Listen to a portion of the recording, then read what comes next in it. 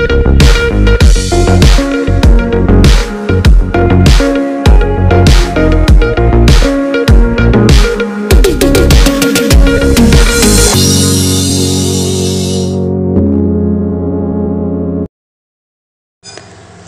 sejahtera, berita tergempar hari ini dipetik dari FMT.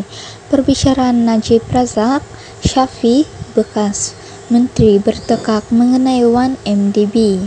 Kuala Lumpur, perbicaraan kes 1MDB membabitkan Najib Razak di Mahkamah Tinggi hari ini menyaksikan pertengkaran antara peguam bekas Perdana Menteri itu dengan seorang saksi berhubung penglibatan saksi tersebut dalam syarikat berkenaan. Ia bermula semasa pemeriksaan balas oleh peguam Syafi Abdullah terhadap bekas Menteri Kewangan kedua Ahmad Husni Hanazla. Syafi menyoal Husni mengenai tanda tangannya yang meluluskan memorandum dan artikel pertubuhan Terengganu Investment Authority TIA yaitu Badan Pendahulu 1MDB. Husni berkata semua dokumen dan surat berkaitan 1MDB dan, dan SRC International sampai ke pejabat Najib terlebih dahulu. Semua urusan 1MDB dan SRC International akan diuruskan oleh Menteri Keuangan Najib. Projek-projek ini yaitu 1MDB dan, dan SRC tidak mengikut SOP. Bagi semua syarikat bahwa MOF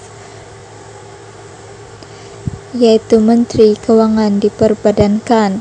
Jadi semuanya datang daripada pihak atasan saya untuk menandatangani, menandatanganinya.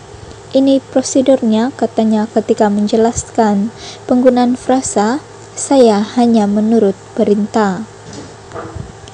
Syafi memberitahu Husni bahwa beliau tidak menjawab soalannya yaitu apakah proses pengesahan di Kementerian Keuangan untuk surat-surat daripada syarikat berkaitan kerajaan sebelum ia sampai kepada Husni.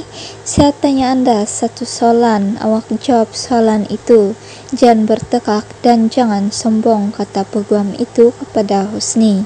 Membela dirinya, Husni menjawab, beliau bukannya coba bertekak dan tidak bersikap sombong.